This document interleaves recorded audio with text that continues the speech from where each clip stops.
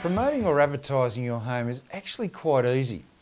It's simply a case of identifying who your target market is, buyers, or placing the home in the media channels that buyers frequently look, such as the major websites.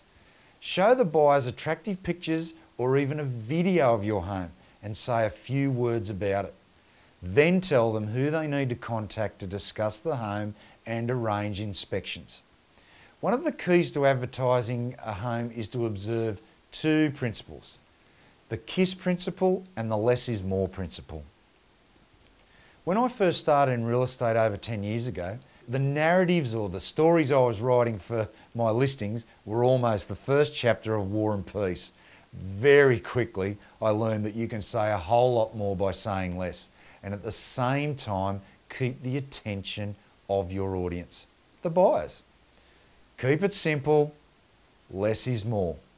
Show meaningful photos, and another important one understand that buyers buy benefits, but look for your features. That's the big rocks, such as how many beds you've got, how many bathrooms you've got, how much car accommodation you've got. These are very easy to follow rules when the time comes to promote your home. I'll teach you how to master these rules in our main video.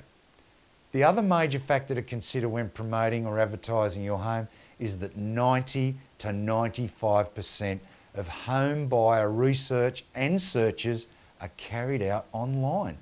This is why Agent in a Box can put the home seller in the box seat.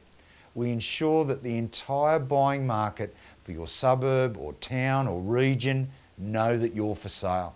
We'll show you how to do this. You won't believe how easy it is.